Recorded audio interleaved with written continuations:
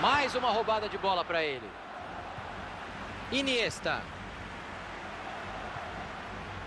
Bateu pro gol. Gol, gol, gol! Para que segurar vantagem? O time vai fazendo um atrás do outro. E olha, parece que com ele é sempre assim, mais jeito do que força. Esse tipo de finalização é característica dele mesmo, Thiagão. Ele costuma colocar a bola aonde quer.